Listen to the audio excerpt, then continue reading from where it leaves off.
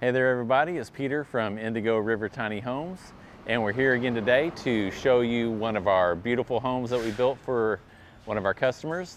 This is a 10 foot wide by 39 foot Entertainer Deluxe. It's the largest house we build and we've got a bunch of really cool features starting with the exterior here. We've got custom steel exterior siding. It's made to look like cedar shake shingles but it's really a 26 gauge steel held up through a hailstorm we had here, no problem with nickel size hail. Didn't have any, any dents or dings on it. Another upgrade on the exterior here is the Pella wood windows. Those are aluminum clad on the exterior, wood on the interior. Beautiful windows. Pella makes some of the best windows in the world. And then on the outside here, just a couple of the standard features. We have the utility closet here where we keep the water heater um, the whole house water filtration system. Underneath the gooseneck area, we've got the mini split and some of the utilities, the electrical connection, the water connection are under there. Um, so let's go inside and check out some of the other cool features on this house.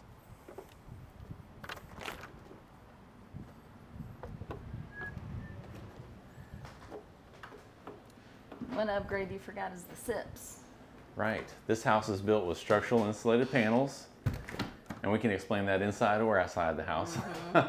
These walls are, are made with SIPs, aka structural insulated panels. There's a link in the description of the video down below. So if you want to click on that, learn more about SIPs, you can there.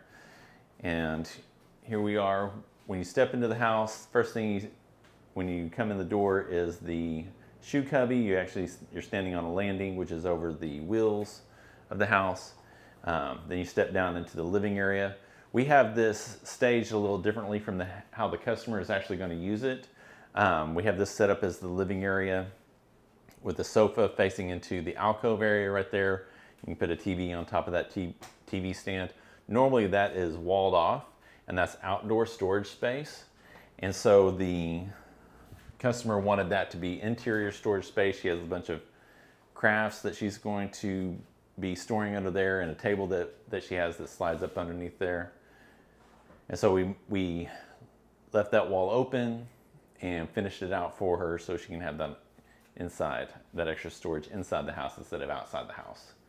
Then over here. the bike shed in the deluxe. Right. That's what, if you've seen our other videos, the it's what we call the bike shed in our deluxe models. And then she's she's gonna have a big tall piece of furniture. Right. So we have this set up as the dining area but she had a has a seven foot tall, I think, and five seven and a half foot tall, five foot wide china cabinet that she inherited from her mother that is really sentimental to her. She wanted a special place for it, so we created this space for her for that. Um, and we have it set up as a dining table right now, but that's what she's going to put here.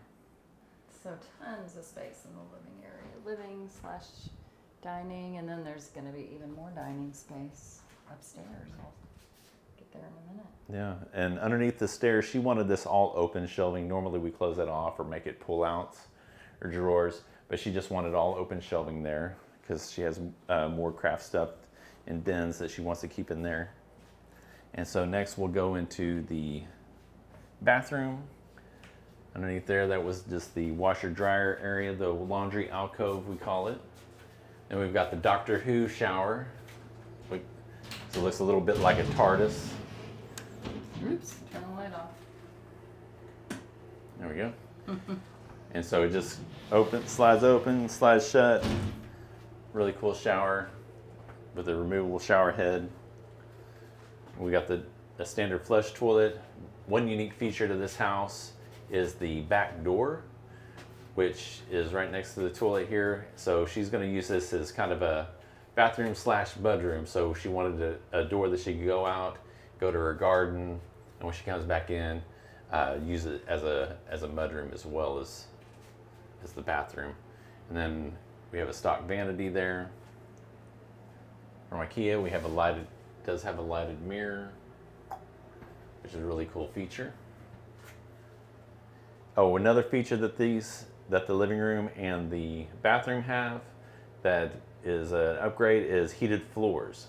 So that's another another special feature to this house. where the floors are heated. And And she's gonna have a side-by-side washing machine. yes, th- this one has, is going to have side by side washer and dryer instead of the all in one, which a lot of customers ask about because they hear they hear bad things about the all in ones.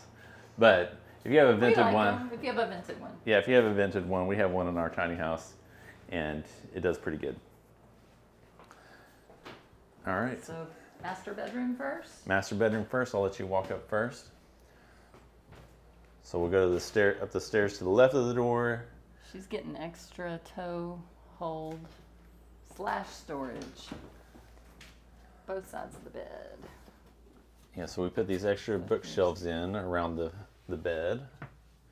And normally along this wall to the left here, we do all, we do a, a bank of wardrobes here. But this customer, um, it has a lot of Elfa railing system from Container Store, right?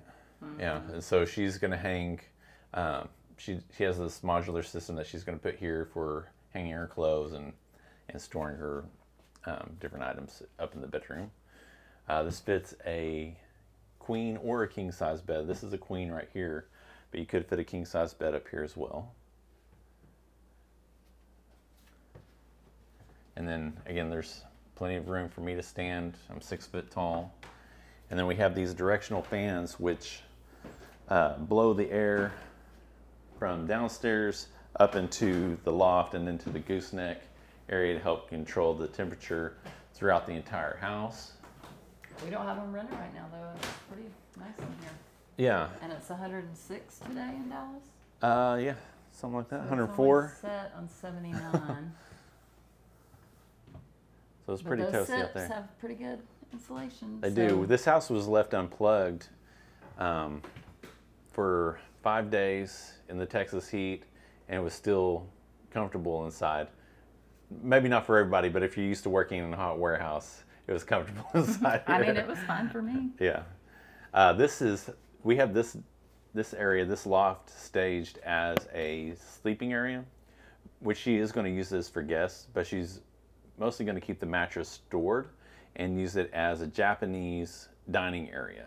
So this is actually going to be her dining room area right here up in the Short table. with the yeah with the short table seating on the floor. And then these are a little more complicated than what we normally do. You wanna? Yeah, because the because the door in the bathroom we had to do the ceiling a little higher, so it's a little higher step up. So we have these drop down steps. So it's got a two step up, two ladder rungs basically, up into this loft space. And then here we are into the kitchen, which is over the gooseneck area. This is a very unique feature to this house, as we've never done a gooseneck kitchen, Kitchen, before. yeah. Uh, so it's really cool. She and she chose really unique colors and chose to do these pegboards inside instead of our traditional open shelving for the storage. And so, which I love. I think it turned out great because, as you can see, we've got we've got it decked out with utensils, and you can hang so much stuff. Yeah, there's nothing in the drawers. Yeah. it's all out on the Yeah. And so we do have plenty of drawers. We also have two slide out butcher blocks for extra prep space. So while you're in here, they slide out all the way. You, you might get trapped in here with this one. Actually, you can still slide by here. Um, but yeah, you actually have this additional prep space here. The cooktop's just going to be a plug-in burner, two burner cooktop. Um, and then she's going to use a air fryer in this space where we normally put the oven. That was that was her choice, but we did we also did these stainless steel countertops and the kitchen sink. The fabricator took their our regular kitchen sink that has these drop-in accessories and he welded in into the countertop and completely blended it with the countertop. Yeah, it looks great. It's completely seamless. So you can't tell that it's not originally part Yeah. of the countertop itself. Beautiful. And then we also have the pull out pantries. We've got toe kick drawers in here along the the base of the cabinets and the upgraded refrigerator uh, with a two with a two drawer freezer. All right. Is that everything? What have I forgotten, Christina? that's everything that I can think of. All right. I hope y'all like it. We'll give everybody a view from the upstairs. So yeah, eventually this is gonna have, well, pretty soon, tomorrow, it's gonna have a bunch of Elfa railings added, so. Yeah. We'll try to get some pictures with all that. All right. Leave your comments down below. Let us know what you think. Thanks for watching, y'all. Thanks for tuning in. We'll see you next time. We love you.